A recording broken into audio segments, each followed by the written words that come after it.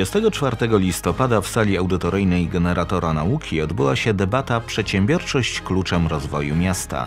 Debata była klamrą zamykającą obchody Dni Przedsiębiorczości, realizowane w ramach projektu Jasło Moje Miasto Mój Dom, finansowanego ze środków mechanizmu finansowego EOK 2014-2021 oraz budżetu państwa, a jednocześnie początkiem planowanego cyklu spotkań z biznesem. Na debatę zaproszeni zostali lokalni przedsiębiorcy, przedstawiciele szkół średnich oraz uczelni wyższych, a także instytucje otoczenia biznesu. Moderatorami debaty byli Marek Gabsdyl oraz Kamil Niklewicz, przedstawiciele Związku Miast Polskich, a wśród prelegentów wystąpili Tomasz Bardzik, dyrektor pionu planowania produkcji i zaopatrzenia, dyrektor do spraw jakości, członek zarządu poszerzonego spółki Nowy Styl, Mariusz Furmanek, przedstawiciel banku PKO SA, Ireneusz Kubiś, właściciel firmy Innowo, innowacje w biznesie spółka ZOO, Ryszard Pabian, burmistrz miasta Jasła, Maciej Pętlak, wiceprezes zarządu Jasielskiego Stowarzyszenia Przedsiębiorców oraz Dawid Szczepankiewicz, przedstawiciel Jasielskiego Stowarzyszenia Przedsiębiorców. Debata rozpoczęła się od dwóch krótkich prelekcji tematycznych, podczas których Ryszard Pabian, burmistrz Jasła, przedstawił wizję rozwoju Jasła, prezentując miejskie plany rozwojowe i inwestycyjne, a doradca strategiczny Związku Miast Polskich Janusz Szewczuk opowiedział o endogennych potencjałach miasta.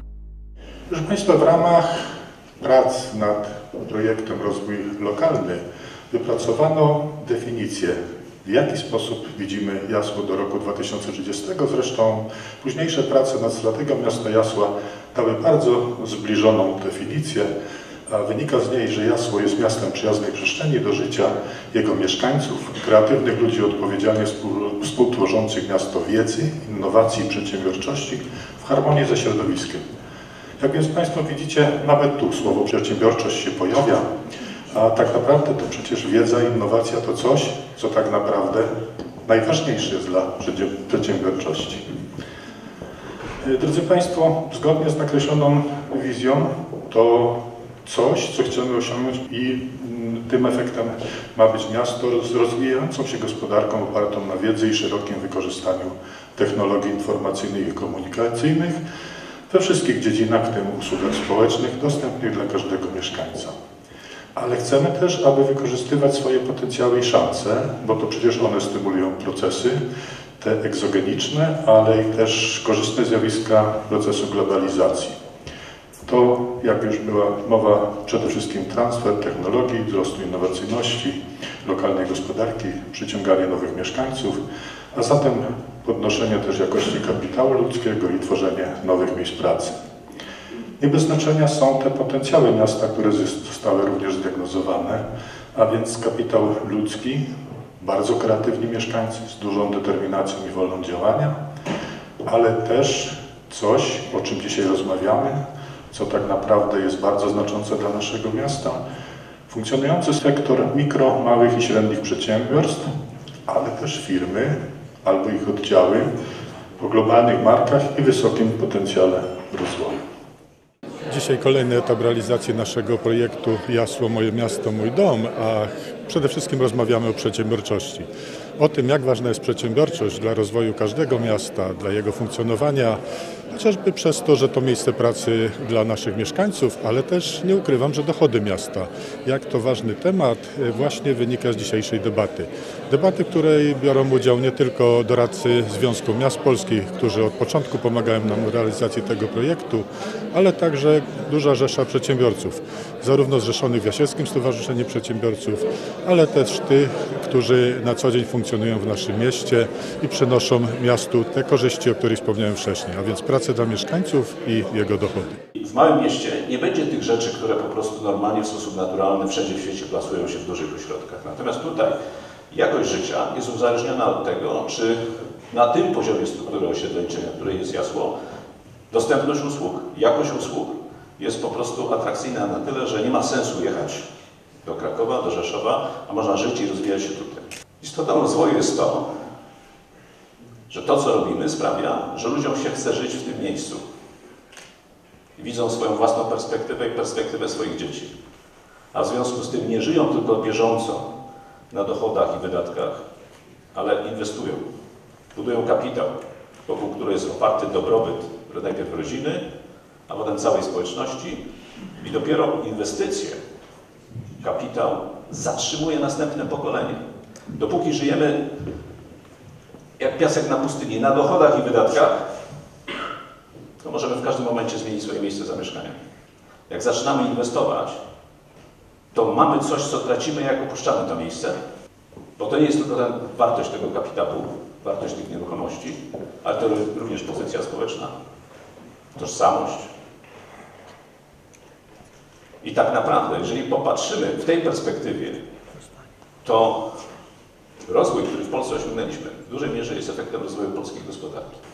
Prawdziwy kapitalizm jest oparty na kapitale. Dopóki tworzymy tylko miejsca pracy i źródła dochodów ludzi, to to nie jest jeszcze kapitalizm.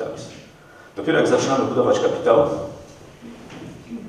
i ludzie mogą przetrzymać recesję z kapitału, firmy mogą przetrzymać recesję z kapitału, z cashflow się nie da, nie, nie, nie da przetrzymać kryzysu. Czy to będzie pandemia, czy to będzie normalne zahamowanie w, na rynku nieruchomości, tak, czy jakiekolwiek perturbacje finansowych y, rynków. To kapitał dopiero jakby sprawia, że mamy pewną stabilność i pewność funkcjonowania. Co było istotne, mniej ludzi, więcej tu było inwestycji w działalność gospodarczą, a mniej w mieszkania. Czyli Pierwsze zagrożenie. Czy to nie jest tak, że postrzegamy Jasło jako fajne miejsce do, do, do, działalności gospodarczej, ale już trochę inaczej patrzymy jako miejsce na życie? Ale wtedy pokazałem powiat jasielski i tam ta sytuacja jest odwrotna. Jak to sumujemy, bo to właściwie trzeba tak o tym myśleć, że obszar miasta to nie jest obszar, na którym jakby rozgrywa się rozwój. To jest jakiś szerszy obszar, bo my musimy pojechać do pracy tam, na zakupy tam, odpocząć tam, Czyli nawet nie, nie, powiat jest tym obszarem jakby funkcjonalnym do życia dla nas, tak? Ale jeżeli już weźmiemy na, na, na, spojrzymy na powiat, to to się bilansuje. Mamy i inwestycje mieszkaniowe, i inwestycje w działalności gospodarczej, i inwestycje w gospodarstwach rolnych, czego w Polsce w ogóle nie, nie doceniamy. Że rolnictwo to jest do zaorania w Polsce, nie. Boom rozwój obszarów wiejskich i rolnictwa w Polsce jest tak wielki, że my sobie też tego nie doceniamy. Jak mówiłem tutaj o rozwoju gospodarczym, głównie przez pryzmat firm, już nie wspominałem o rozwoju rolnictwa, które, które również eksploduje i sprawia, że konkurencyjność Polski na rynkach gospodarczych świata rośnie. Tutaj blisko 1 trzecia ludzi aktywnych ekonomicznie, pracujących e, i, prowadzących działalność, to są ludzie, którzy są 5 lat przed emeryturą i dalej pracują, dalej prowadzą firmy, będąc już w wieku emerytalnym i nie mają następców. To jest największe zagrożenie. Niska kultura przedsiębiorczości młodego pokolenia. Aktywnością na Facebooku nie, nie zamienimy aktywności życiowej. Kolejnym elementem spotkania był panel dyskusyjny Wsparcie przedsiębiorczości, oczekiwania, a rzeczywistość. Bloki tematyczne, jakie udało się poruszyć podczas panelu, to m.in. edukacja poprzedsiębiorcza, wyzwania i możliwości oraz sytuacja na lokalnym rynku i potrzeby rynku. Na zakończenie debaty poproszono zgromadzonych o wskazanie tematów kolejnych spotkań.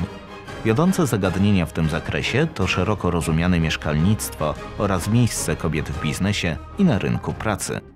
Debata była świetną okazją do poznania planów rozwojowych miasta, nawiązania nowych kontaktów, a także dała przestrzeń dla wielu rozmów i dyskusji. Debata Przedsiębiorczość kluczem rozwoju miasta zrealizowana została w ramach przedsięwzięcia Dni Przedsiębiorczości w projekcie Jasło Moje Miasto Mój Dom finansowanym ze środków mechanizmu finansowego EOK na lata 2014-2021 oraz budżetu państwa. Tutaj najistotniejsze jest to, jaką wizję Jasła mamy, jaką wizję Jasła w roku 2030.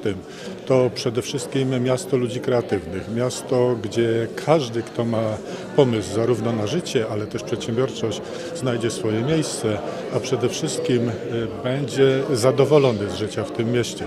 I to zarówno w tych obszarach gospodarczym, przedsiębiorczości, ale i środowiskowym, bo to przede wszystkim ma być miejsce, w którym będzie można zdrowo żyć.